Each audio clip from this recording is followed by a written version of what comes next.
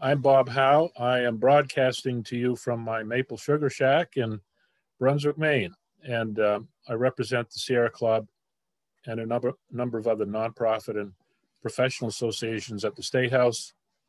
Uh, prior to that, I worked for a while in municipal government and also served in the Maine House of Representatives. So uh, I'm hoping this presentation will be helpful, particularly to those who um, are looking for the, a basic introduction to uh, the Maine legislature. And there we go. Bob, Bob, quick question before we uh, go along. Just how, how do you want to field questions? Do you want to go through a portion of this and then take them in chunks or? I'm, I'm happy to answer questions at any point. Okay. Um, if I don't hear somebody or see their hands flapping, then maybe somebody else will interrupt me. So uh, these are what I set out as objectives for this workshop. A little bit about me, but I've already been through that. So there are 151 members of the Maine House of Representatives and 35 members of the Senate like all but one other state, we have a bicameral, that is to say, two, two house legislature. Uh, Nebraska has only one legislative uh, body. Um, both members of the House and Senate are elected to two year terms. Uh, elections for, for, these seats and a lot of other things are in even numbered years. Uh, term limits were enacted through um, public referendum a number of years ago, which limits legislators to four consecutive terms in the same body. And what we have seen since then is some people maxing out in the House and then running for Senate, or vice versa, or staying away for a term or two and then coming back. These are the current members of what's called legislative leadership. um, starting at the top, we have the senators, including the presiding officer, the title of whom is President of the Senate. Uh, at the moment, the Democratic leader spot is vacant. Senator Nate Libby of Lewiston has stepped down from that, although not from his seat as a legislator. And this is due to his um, taking on a major new day job outside of his work as a legislator. Uh, and his assistant, who may very well move up to that other position, is Eloise Vitelli. The Republican floor leaders are Senators Jeff Timberlake and Matt Pouliot. And notice, oh, I see a typo after Senator Vitelli's name. Um, senators are listed not by the names of the towns in which they live in, but the names of the counties. And that's because at one time we had 32 senators, two from each county. And that all changed uh, quite a number of years ago. Um, and it may be that they have town, they represent parts of more than one county, but the one that's shown here is the one they live in. For example, Senator Vitelli also represents the town of Dresden, which is in uh, Lincoln County. The House leaders are the Speaker, who was the presiding officer, Ryan Fecteau of Biddeford. Michelle Dunphy is the floor leader. Her assistant is Rachel Talbot Ross. The Republican House floor leaders are Kathleen Dillingham and Joel Stetkis. The uh, legislature has 18 joint standing committees. A standing committee is essentially a permanent committee. From time to time, they will also establish select committees, which are usually created uh, for a, a, very specific purpose for a, a fairly short period of time. Each of these committees has jurisdiction over various departments and agencies of state government and the laws related to them. These are the ones where we seem to spend most of our time and some issues that uh, arise in those committees that we care about. So, who can introduce legislation? Well, it turns out the answer is all of the above. However, all bills must be presented by a legislator with up to nine co-sponsors. And on rare occasions, uh, the leadership will waive that limit and there'll be a much larger number of co-sponsors. Happens once or twice a session. So why do you need to get involved? Well, I've listed the climate crisis as the, as the most important reason. The state has to do its part to avoid the worst effects of climate change. What happens in Augusta matters, and because you are a citizen and you vote. Um, with regard to how to communicate with legislators, you can work through this legislative team. And uh, one of our tasks is to develop the priority bills for Sierra Club. When you do make a case to legislators, um, be clear and concise and uh, state your reasons. Aside from your participation in the legislative team or in conjunction with it, I, I, would urge you to get to know your legislators. Each of you has a representative and a senator. And we can talk about how you figure out how those people, who they are if you don't know.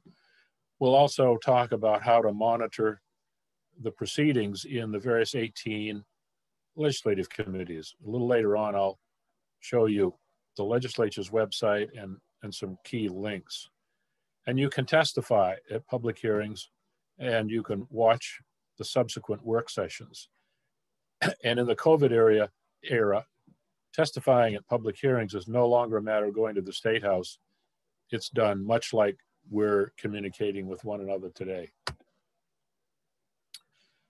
Uh, remember to know who your allies are and get them involved, get their support. Know who your opponents are. Try to anticipate who they're likely to be and anticipate what their objections are likely to be because if if if you are speaking to a legislative committee as a supporter or proponent, you'll go first. You'll be followed by the opponents. So when you speak, if you can anticipate what they're likely to say and sort of offer up a response in advance, uh, that sometimes is helpful. Um, seek support from legislators. Um, for your proposals. It may be your own legislators, it may be some on the committee that will hear the bill. Um, you don't have to speak. You can submit written testimony or you can do both. And uh, we can go and look at the, the link to the what's called the online portal for submitting bills. Um, I, am a big believer in one pager, so if you do submit written testimony, I don't say it has to be a single page, but keep it concise. And um, follow up with legislators, uh, whether you've talked to them individually or after public hearing. They don't always get thank yous when they when they deserve them. Just this is a sampling of issues that we'll be confronting, um, and and in no there's no magic about the order in which I've listed them. But um, we've been working for a couple of years now on a proposal to uh, force the conversion of our two major electric utilities to uh, a Maine power company that would be owned by its consumers. Um, there are any number of bills that will come forward this session dealing with toxic chemicals. The Governor's Climate Council is going to be submitting a lot of proposals, and we're still anxiously awaiting what's what's coming from them. We're going to be working on something called the Green Bank. This will be a program that will provide loans for the purpose of increasing energy efficiency and or reducing the use of fossil fuels. A bond issue is something that's done when the state wants to borrow money from investors for the turn around and use the proceeds for various purpose. It's often used to build roads and bridges. Um, there are bond issues pending this session on uh, combating sea level rise and um, funding efficiency projects, and I'm sure there'll be others. Now, this may not be as visible as I would like. This is a a graphic taken from the legislature's website. And I'm going to see if I can. All right, this is a little better, I think.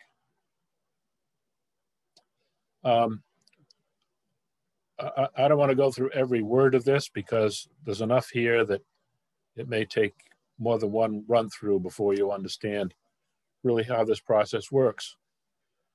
But it starts with somebody that has an idea um, and then finds a legislator to sponsor it. And um, that idea gets submitted to an office of the legislature called the Reviser of Statutes. They put it in all the proper format and print it, assign it a legislative document number, and it's posted on the website. And we'll look at where to find what are called LDs a little bit later. If the sponsor, the primary sponsor, is a member of the House, it's referred to as a House bill, and it'll go to the House first.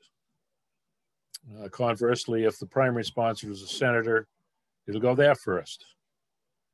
Both bodies have to agree on what committee to send the bill to, because that's where it's given a public hearing.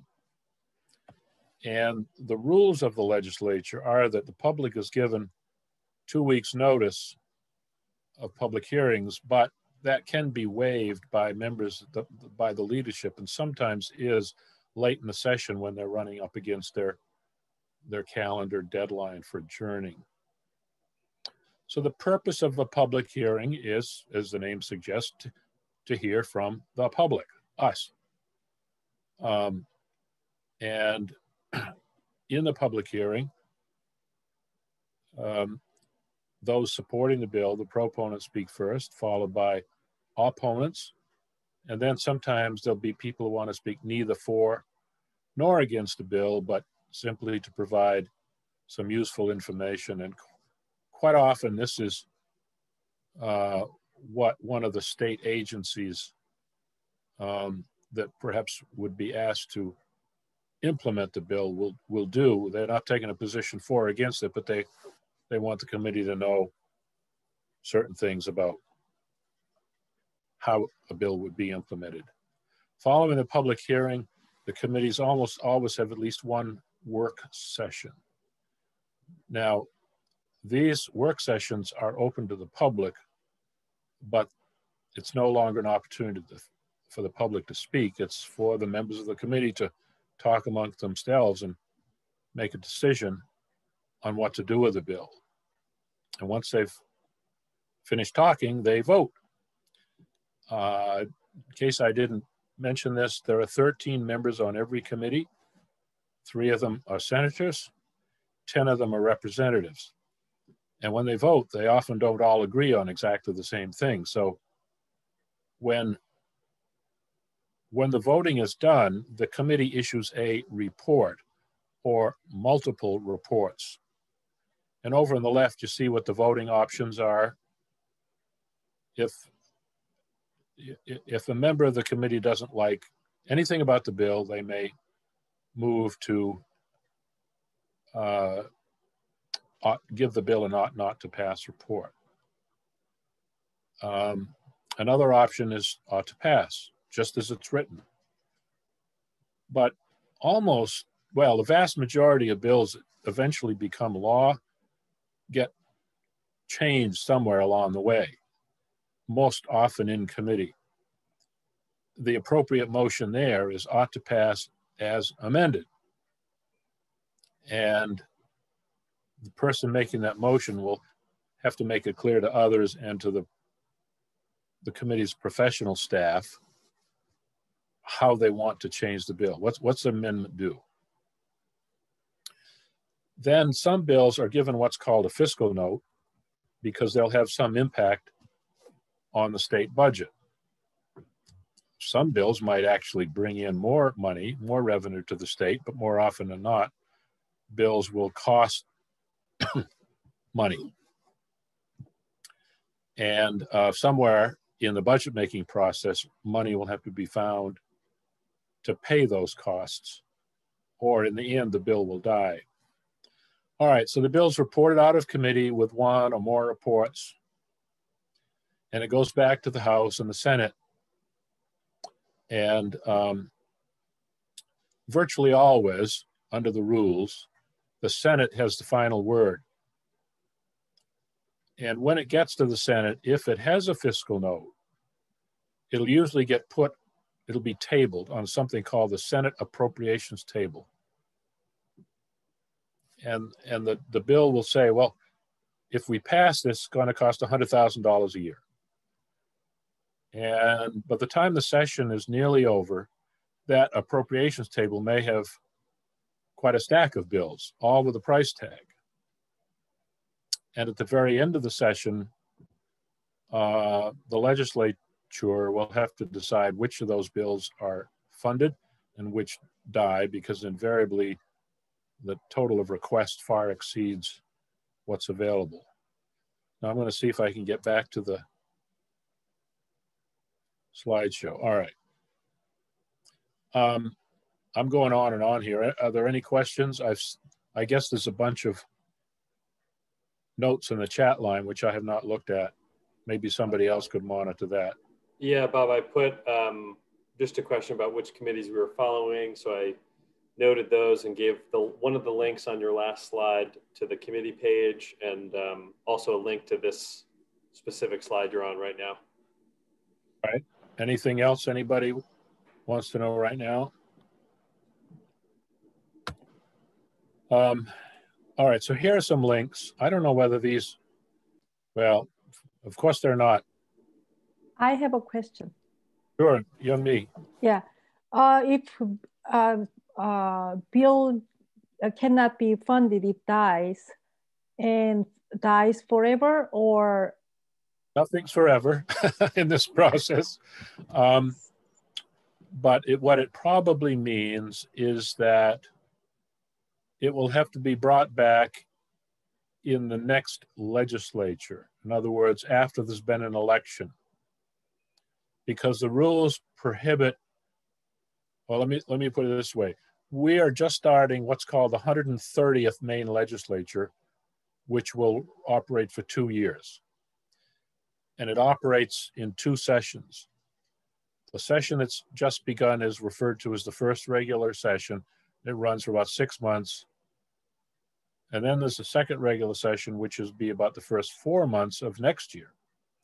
If a bill dies for whatever reason in the first regular session, it cannot be brought back in the second regular session. But it could be brought back when the 131st legislature meets starting in 2023. Then start uh, process all from the beginning? That's correct. It's it's de novo. It's like like it never happened before. Ah.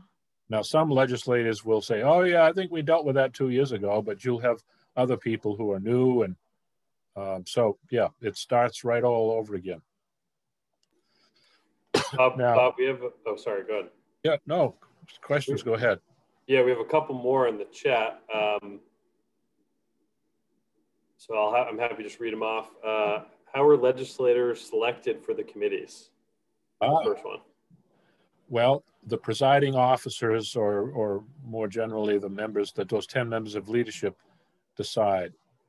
So, for example, because the Democrats control both the Senate and the House right now, they get two of the three senators and either six or seven of the 10 House members. And those Democrats are chosen by their, their leaders, their party leaders. Likewise, the Republicans, their party leaders will choose the one senator and the three or four House members. Now, there was a little kerfuffle a few weeks ago when one Republican senator did not get the committee he wanted because his leaders didn't want him there. and he appealed to the Senate president, who's a Democrat, asking him if he would override his party leaders, and I think he could because he's the presiding officer. But he said, no, I'm not going to do that. Um, and there are ample precedents for why that's probably not a good idea to override those those appointments. Um, I'm sorry, is that? I think I answered the question. Was there anything more? I think so. I think that's good on that. Yeah. Now we have. Um, yeah, this links. Um, I'll ask a couple, a couple more. All the links we will. Yeah, we have these later as well. We can put those in the chat, um, Lynn. But the next question was how to efficiently monitor committee schedules, um, legislation, etc. You know what? I think maybe what I'd like to do is to go to the legislature's website on screen share. Yeah. Um, and all right. And while you're doing that, um, I'll, I think I can answer Patricia's question about how to effectively build relationships with legislators by suggesting um, that we have another workshop that's focused on that in particular. I'm sure Bob has some other notes on that, um, but I will link that in the chat. And Emily's question about is there someone who has worked with a bill through this process who can share what it is like? Um, Bob has definitely seen many bills that went all the way through and probably a lot more that didn't. So um, I think he can touch on that as well.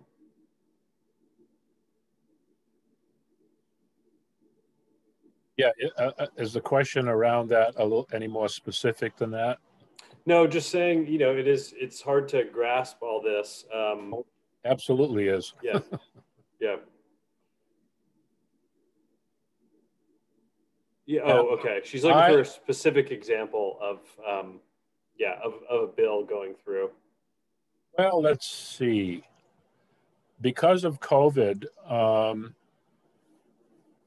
public hearings are being conducted via Zoom for the members of the committee and their staff and anyone else who wants to participate as a witness. The rest of the world gets to watch and listen on YouTube, and these things are being recorded. There have been very few public hearings so far this session, but perhaps I can find, well, since we're on the topic, there's an OWL link here for YouTube channels. what we're looking at is the that last page was the home page of the Maine legislature. So this is what you get when you click on the link to YouTube channels. So here, uh, you can watch the Senate proceedings here, the House proceedings here, and then we start with legislative committees. And um, this one is the Appropriations and Financial Affairs Committee. I know they've started public hearings. This is a committee that writes the budget. And I'm going to click on that committee. Bob, we're not, I don't think we're seeing your, uh, we're still seeing the slide there. We're not on your web page. That's interesting. I don't know why you're not seeing what I'm seeing.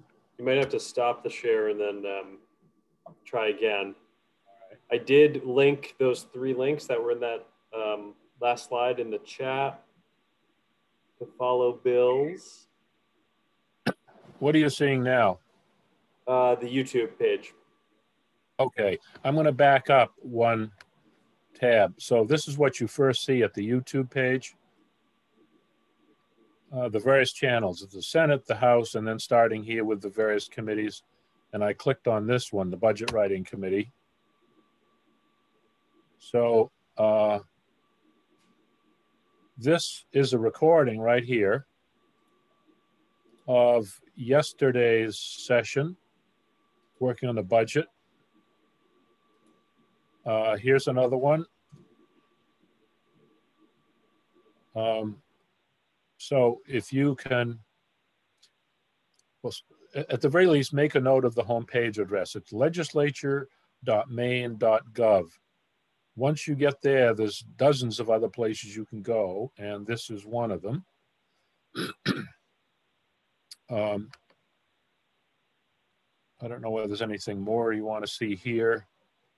Uh, this is a committee we'll spend a fair amount of time in.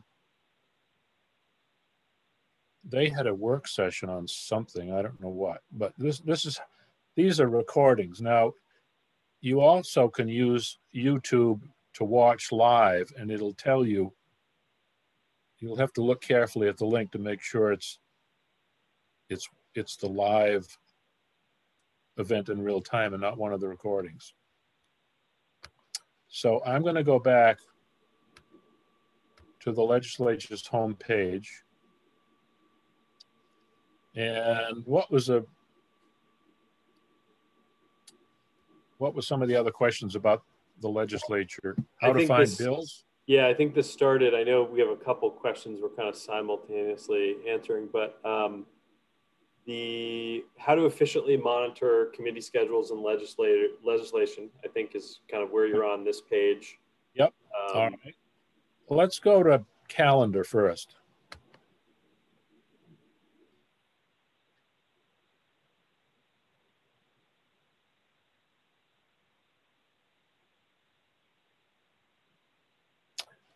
So um, this is the current week, and you'll see that these blue hyperlinks are all to various legislative committees. There may be other kinds of events on here too, I'm not sure, but um, so let's say uh, we want to find out more about the public hearing I guess that would have been yesterday in the Transportation Committee. We click on that hyperlink.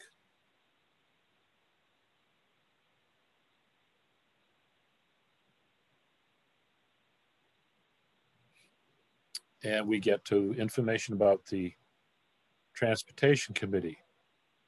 This is the name of the clerk. This is where it's physically located.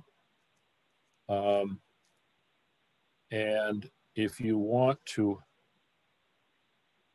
listen to what's going on in that committee, you can click here. You'll need some sort of media player on your computer. Um, they had a public hearing yesterday on, looks like two bills. No, three, four anyway. Um, and uh, I love our Maine's offshore islands. So I'm going to pick on this second one my wife goes out to Vinalhaven once a month to the clinic to do women's health. So this is a hyperlink to that piece of legislation. And by the way, this is one of half a dozen ways to get to a bill on the legislative pages. Um, so up here, you've got the title. Over here is the LD number. Over here in this little window, is uh, it's set on 130th, but if you wanted to look for bills in previous legislatures, you can do that too. Because there would have been an LD 43 and 129. I think from my perspective, the key word here is efficiently. You know, I've got a job and two kids who aren't in school and how do I know when there's something I should be paying attention to without taking on a whole other job of trying to monitor everything that goes on? I would say that if you were to sign up for email distribution lists for the committees you think you're going to be interested in, that might be the best way to do it. That way, you'll get notices of hearings in your inbox without having to go to the legislature's website and poke around. And um, let me and, see if I can't find where you sign up for that. And as as we're looking at how to sign up, I would also answer that by um, saying if you don't, yeah, if you don't want or maybe have the time to follow a certain committee or um, research a bill in depth, that is definitely why um, people contribute time and uh, resources to places like the Sierra Club and others. Um, we have a little more capacity to do that on our members and supporters' behalf. So we are tracking through Bob and um, with our legislative team important bills um, and let folks know really important ones on ways they can take action. And then our actual volunteers who uh, meet every couple weeks and do some more of this work on the back end. They are following many more bills and writing testimony on specific ones. Um, so I guess, I, I, don't know if that answers your question, but I would say the most efficient thing is um, kind of be on our email list if you want kind of broad general actions. If you want to be a little bit more involved, you can come um, and be on our legislative team. And if you want to be really, really involved or, or more involved, um, you can subscribe to these lists. I, I think that's a pretty easy task in the short run. If you think you might be interested in natural resources and the environment, you can sign up for one of these email lists and at least start knowing what's going on. I don't know if, if that answers your question. That's helpful. Thank you. Um, I've taken us to the page where these various lists appear. And if you wanted to be on the list for the Agriculture, Conservation, and Forestry Committee, you'd click here. You'd click on subscribe. You'd enter your email address. And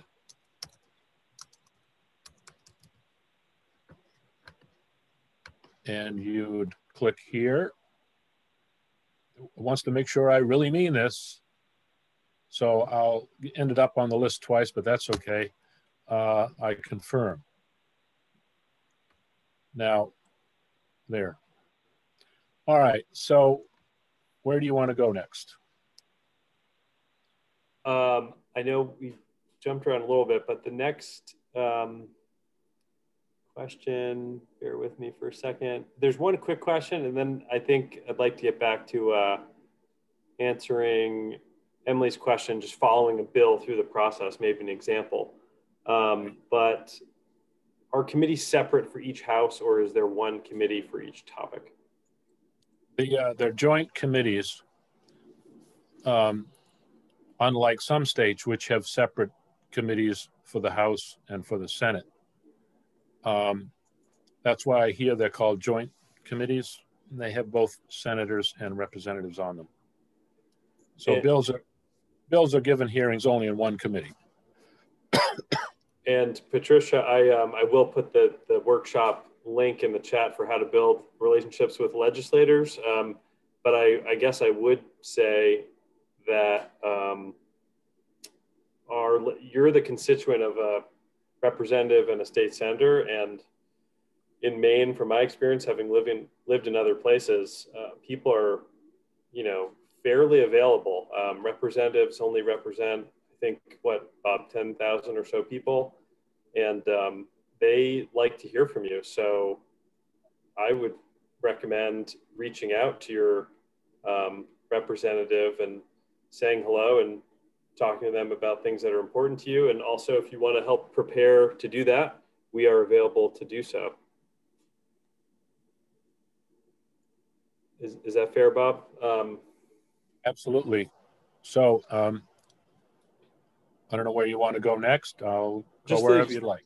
Yeah, I think the example of um, maybe walking a just more specifically a, a, bill, a specific bill that um, you're familiar with, maybe a recent one, and kind of how it's gone through the process. Well, one way of doing that would be let me do this. I'm going to, I'm going to, uh, how do I want to do this? Wonder if you could, the problem could is one from last time that, that was. Yeah, successful. I was going to do that. I have a little impediment here, which is that the, the um, control panel for screen sharing is up at the top of my screen hiding the browser window. So I'm going to move it down here. Okay, this should help. I am now going to the, the legislative report that we put together for the Sierra Club. And I'm going to go to the last session. So see over here where it says 130, I'm going to go to the 129th. And uh, let's see, what bill do we want to look at? Um, well, let's see. Telemarketer. Um, let's just pick this one on solar panels at random. This is this report, by the way, uh, the way we put it together. The title of the bill is a hyperlink and it takes you to the legislature's website page for that bill. And here's the bill. You want to know what it does, you this is what a, a legislative document looks like. As the title, this is the committee it goes to. These are legislators sponsoring it. And then you get into the substance of the bill, very simple. And there's a summary that describes what it does.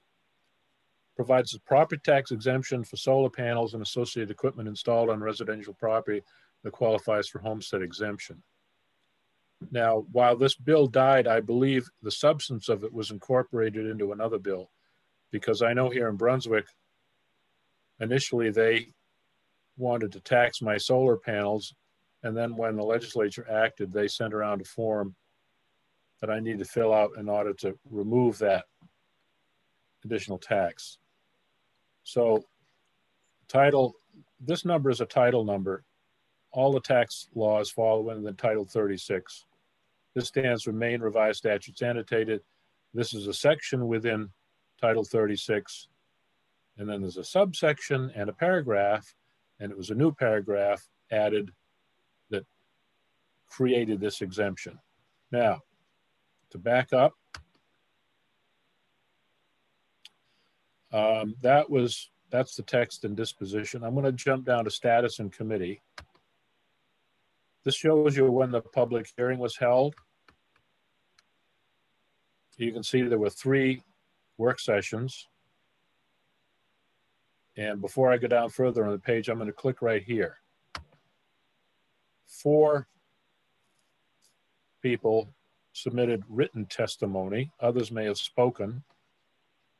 Um, and you want to know what they said, you can go to that link.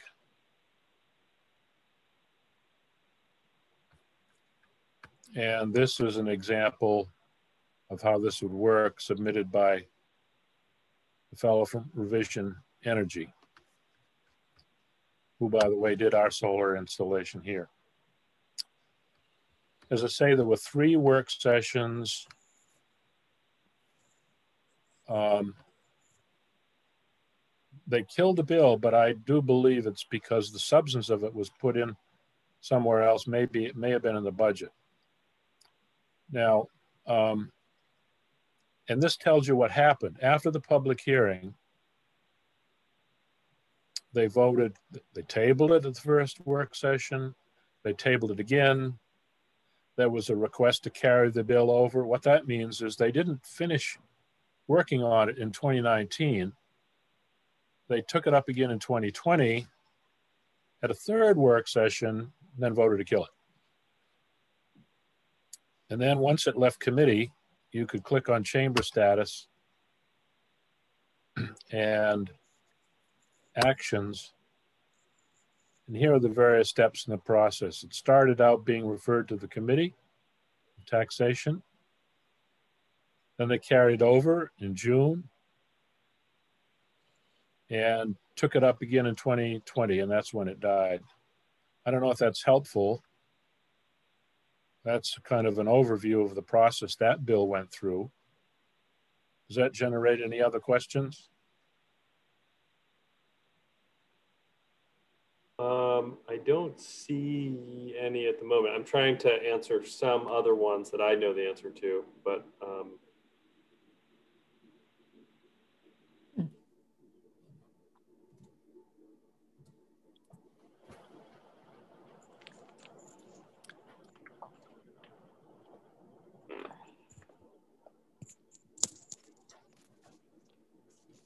yeah, how else? Um, are there any other? Are, is anyone that I maybe missed accidentally in the chat, or does anyone have a uh, follow up to anything? Um, I yeah, can show you. Oh, okay. Oh, Bob, what um, what does a lobbyist do? um, at the very minimum, my partner Pam Cahill and I look at every piece of legislation I won't say we re- read every word of every bill, um, but we look at it closely enough to determine whether it may have an impact on one of our clients. If it does, we enter it into a database from which we print. Can you see this now? I, I don't know what you're seeing. I'm seeing the Sierra yeah, Club legislative report. Yep, we can see that. So in this database, we, we're able to um, create reports for the clients. I'll just, uh, let me see here.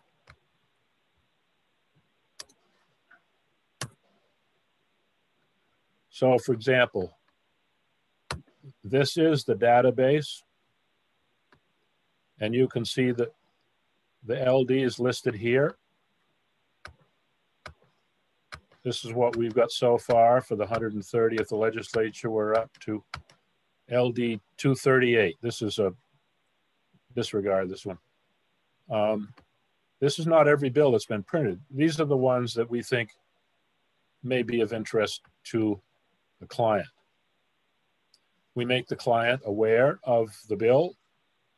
Uh, with this organization, we have legislative team meetings on a regular basis, at which time we, really you, decide which issues warrant uh, our attention. And Sierra Club's a little different than most of our clients.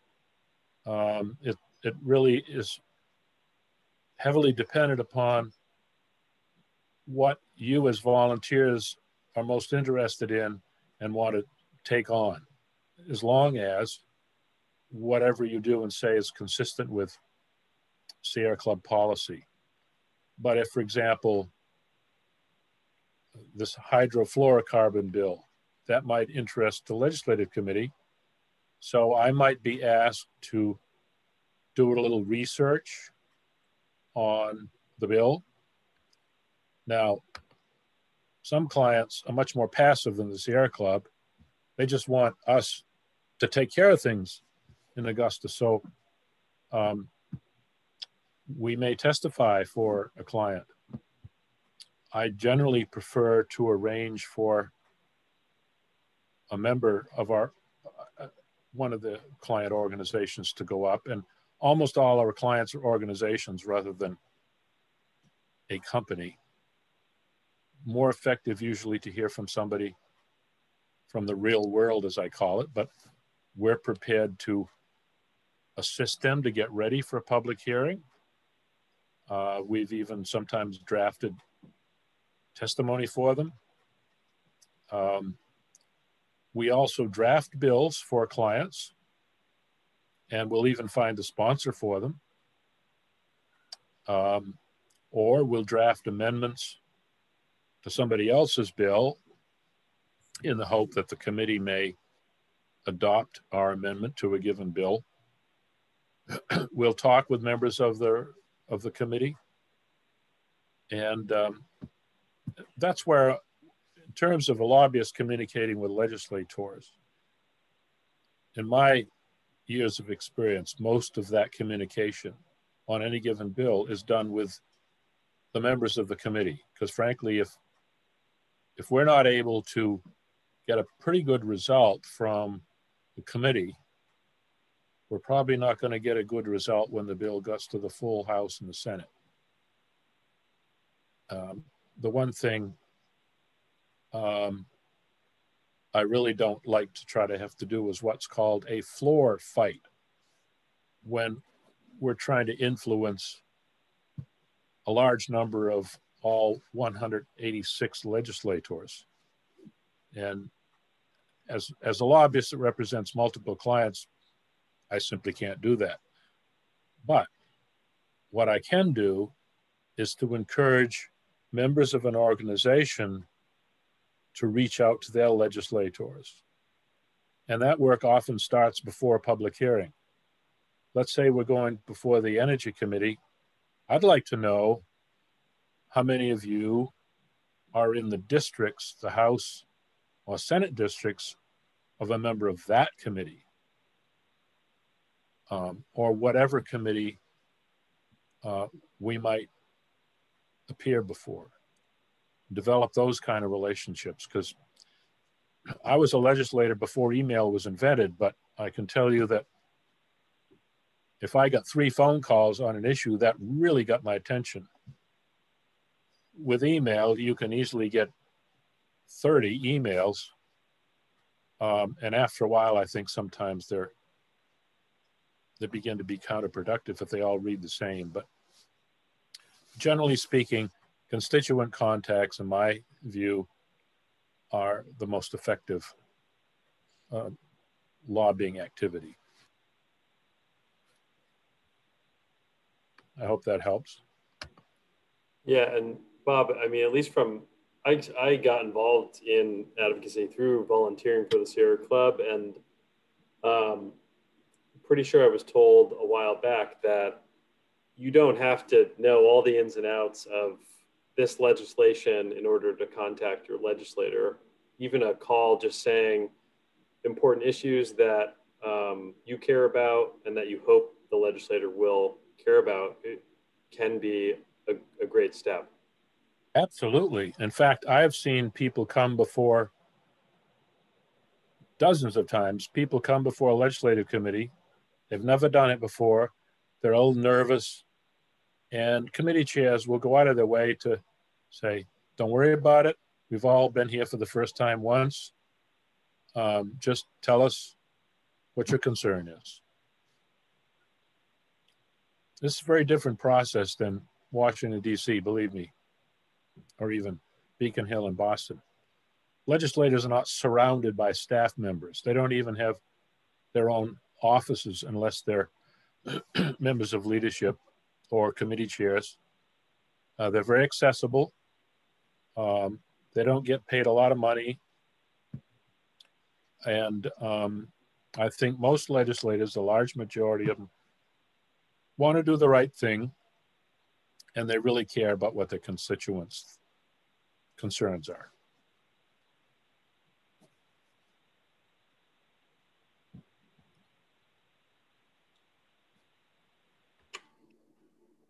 Um, yeah, I answered the question. I hope to your satisfaction, Patricia, about tracking legislation, national versus state. Um, at the we are one national organization with chapters um, throughout the country, and we have a, a pretty sizable um, and effective national team that is focusing on a lot of bills and tracking all of them, especially um, especially over the last four years, things that we should be in opposition to. There's a lot of um, you know oil industry funded bills that we're aware of and they pop up in every state. So um, yeah, we are in coordination with our national teams as well to make sure we know what's going on. Just scroll down toward the bottom of the legislature's homepage. There are a bunch of useful links here. Statutes are the laws that the legislature enacts. You want to find the status of a bill, you can go here. Information on hearings and work sessions is here. There's also a whole process we have not talked about, and I don't intend to much today, but that's rulemaking. Um, but let me go up here first. The state constitution is the sort of the bedrock legal document for the state. Everything else from the point of view of laws flows from and has to be consist, cons, consistent with the Constitution, starting with statutes enacted by the legislature. But often the legislature will assign to some agency of state government authority to write rules because the legislature isn't always the best place to work out all the nitty gritty details of implementing a law. So the legislature may pass a law that provides the basic framework, leave it up to an agency to write some rules uh, carrying out all the details. So you could find out about the rulemaking process here, information of various committees here. Uh, I think this is one we we um, went to earlier. Yes, that's where you can Yeah, this index of lists we saw earlier. So, I mean, you could spend two or three days just getting to know your way around the legislature's website. I've had years to do it, and I still sometimes have to hunt and peck till I find just what I'm looking for.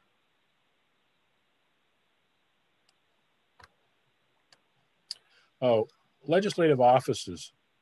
Um, the legislature has a sizable nonpartisan professional staff with various functions. Um, the Legislative Council, this is the 10 members of leadership.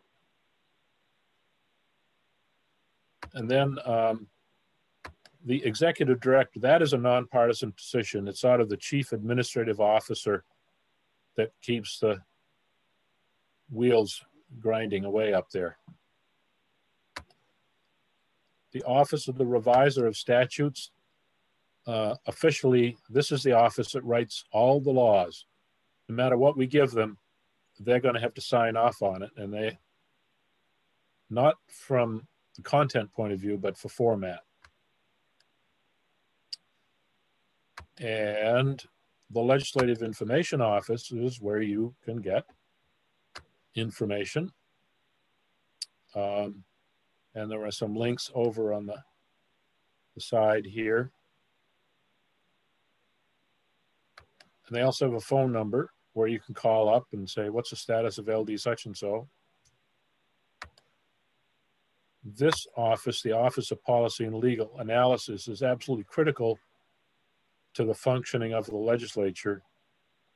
These people, and there's probably a dozen to 15 of them, again, nonpartisan, um, they're lawyers, historians, peoples of public policy, graduate degrees, and they are, they basically do research and analysis of issues and bills for the various committees of the legislature. Each committee is assigned at least one of these people, and in some of the busier committees, two of them.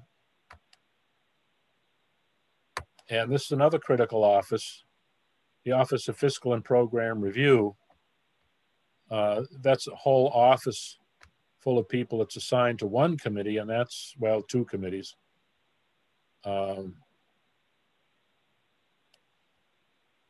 and maybe more. They, they, these are the number crunchers. I don't mean to use a pejorative term. They're critical to the functioning and especially the budget writing and then, by the way, if you, assuming someday the State House is open to the public again, the law and reference library on the second floor is a wonderful place. um, and they have a very good and very efficient reference desk if you're looking for something. And, um, and you don't have to physically go there. You can call them or I think they have a fill in the blank form here. Um, you might want to know, well, what was the law on tax exemptions on solar panels before the current law? And they could help you with that. But it, it's also a sort of a quiet sanctum where you can go uh, and there are computers there for the public to use. I go over there sometimes and check my email if I don't want to have to go back to the office. And then finally, the acronym of this is OPEGA. They do, they provide some oversight, a little bit like um, inspectors general in various federal agencies, nonpartisan, and they go in and do studies of how well uh, certain state programs are operating. And they've they've done they've posted a number of studies over the years. And just a few of them this one on indigent legal services um, they spent a lot of time on that trying to figure out why that program wasn't working very well anyway um, maybe taking you down a rabbit hole you don't care to go today any other questions? Bob, I know uh, I appreciate. I didn't really know about the library, and um, I'm I'm really actually glad personally to spend a little extra time on this website because I always breeze through it for something specific. Um, yeah, I know we're just a little bit over the hour, so um, I don't see any pending questions. I think I'm gonna stop the recording, but um, I'm happy to stay on for just a couple minutes if people have kind of follow-up questions. I'll also mention that um, similar to earlier questions, anything big that we think we need to act on, you will hear about uh, if you're on our, our email list. And if you've ever taken any action with us or donated, um, you are on that email list. So that I think is you know, kind of one one tier of activity. If you're not sure or you still want to maybe give this a little bit more thought, check out some bills, get on a committee email list.